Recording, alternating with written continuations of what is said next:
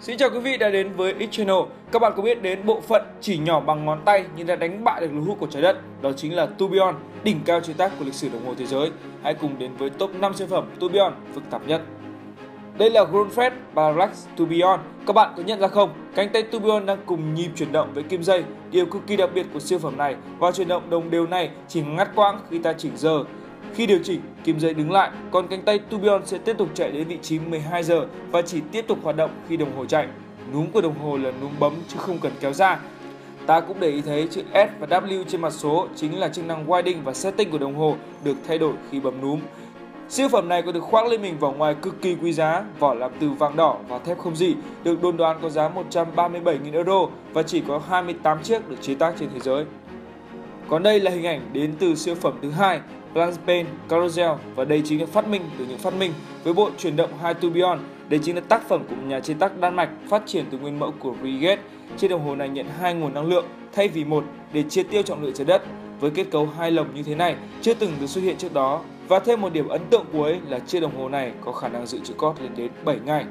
Ở vị trí thứ ba là Richard Land Tourbillon, chiếc đồng hồ có giá 213.000 USD có một điểm đặc biệt tại điểm giao giữa hai vòng tròn dưới, chúng ta nhận ra có đến hai vòng tròn giờ được xếp chồng lên nhau và vòng thứ hai chỉ hiện ra khoảng từ 6 đến 12 giờ.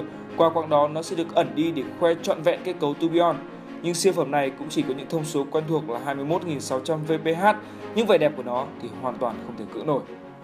Được đánh giá cao hơn một mức là chiếc Giger LaContre Reversal Tribute là Tourbillon, Tourbillon mặt vuông với hai mặt số, phiên bản giới hạn 75 chiếc với giá 270.000 euro.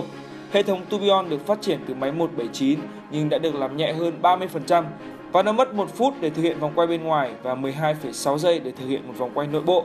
Ở vị trí 2 giờ là ô báo ngày đêm cùng sự thanh lịch của bộ kim Dolphin cũng như họa tiết Gucci Sunbird đã khiến chiếc đồng hồ này xứng đáng xếp ở vị trí thứ hai.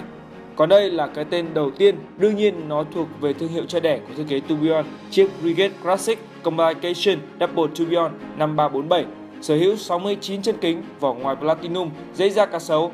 Cặp tourbillon song sinh với giá 400.000 USD là những thông số cực kỳ ấn tượng của chiếc Brigade này.